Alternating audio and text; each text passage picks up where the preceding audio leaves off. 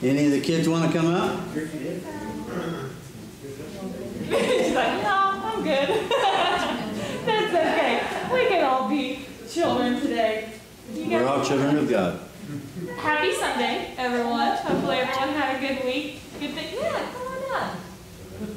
You are singing so beautifully back there. I love it. Come on up. Oh, this makes my heart so happy. Good morning.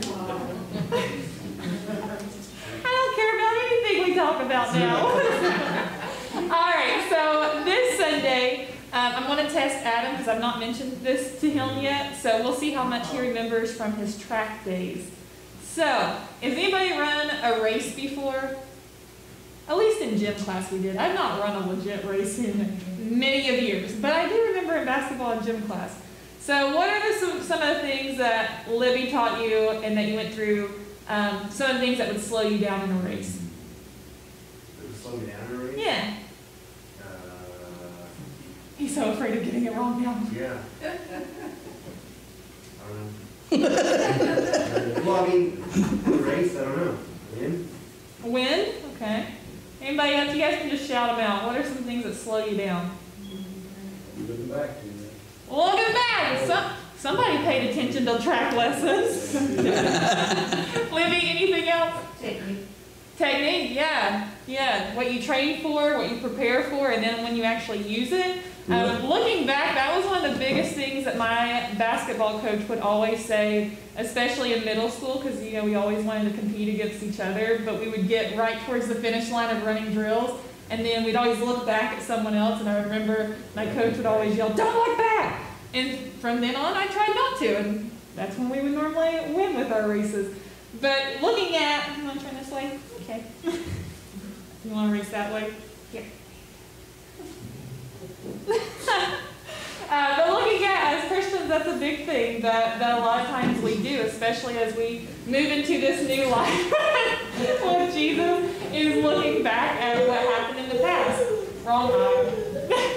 She's coming. you know what? She looked forward and she found where she was going. she didn't look back. Was going. So especially, I know today is Communion Day. Hopefully everybody grabbed their cups coming in. But especially when, when communion comes, it is a time to reflect. But a lot of times as we're in pursuit of Jesus and pursuit of our life as a Christian, sometimes we tend, we tend to dwell on our, ourself before Jesus and who we were and, and not knowing do we, do we deserve the love? Do we deserve moving forward? Um, and actually Paul talked about this, the idea of looking back and how that, how that slows us down. Um, so in, in Paul, uh, he knows that he's not, he's not won the race, but he understands that the prize is Jesus. And so he states in verse 13, but here's one thing I do. I forget what is behind me. I push hard, I push hard toward what is ahead of me. I push myself forward toward the goal to win the prize. God has appointed me to win it. The heavenly prize is Christ Jesus himself.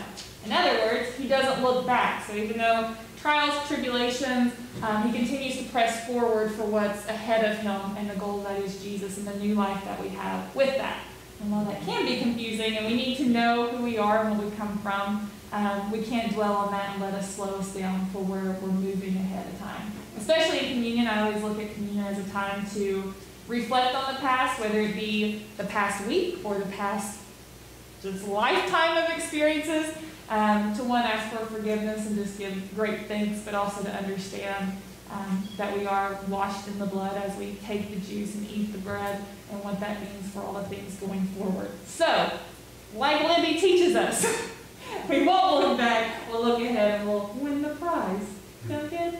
All right, have a great week, everyone. Thank you. Good job. Thank